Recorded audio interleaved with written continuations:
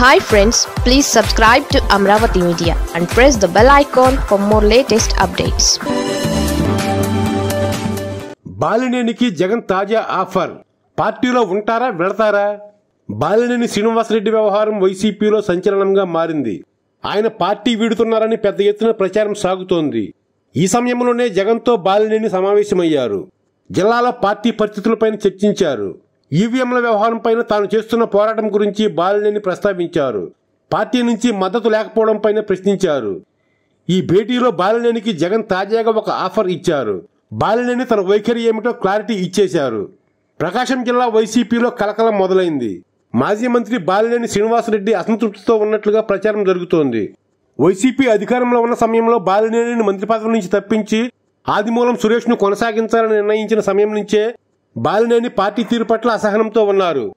ఆ తర్వాత జగన్ ప్రతి సందర్భంలో బుజ్జగించడంతో బాలినేని తిరిగి పార్టీలో యాక్టివ్ అవుతూ వస్తున్నారు. తాజాగా ఎన్నికల ఫలితాల్లో అనుమానాలపై బాలినేని ఈవీఎంలపై న్యాయ పోరాటం చేస్తున్నారు. ఈ అంశంలో తనకు పార్టీ నుంచి మద్దతు రావడం లేదని బాలినేని ఓపెన్ గానే వ్యాఖ్యానించారు. కొద్ది రోజులుగా బాలినేని పార్టీ వీడే ఆలోచన చేస్తున్నారని ప్రచారం సాగుతోంది. జనసేనలోకి వెళ్ళబోతున్నారని జిల్లాలో టాక్. అయితే పలు సందర్భాల్లో తాను పార్టీని వీడడం లేదని బాలినేని స్పష్టత ఇచ్చారు. అయితే బాలినేని సొంత పార్టీ నేతలపైనే పలు సందర్భాల్లో ఆగ్రహం వ్యక్తం చేశారు. అదే సమయంలో జిల్లా అధ్యక్ష పదవి విషయంలోనూ చెవిరెడ్డి పేరు తెరపైకి రాగా జిల్లాకు చెందిన వారికి అధ్యక్ష బాధ్యతలు ఇవ్వాలని బాలినేని డిమాండ్ చేశారు. దీంతో జగన్తో బాలినేని సమావేశమయ్యారు.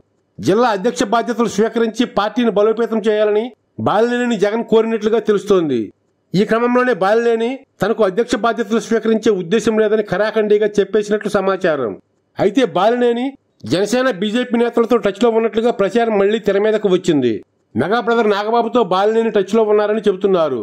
దీంతో ఇప్పుడు బాలినేని వైసీపీని వీడడం జనసేనలో చేరడం పైన ఒకటి రెండు రోజుల్లో క్లారిటీ వచ్చే అవకాశం ఉంది.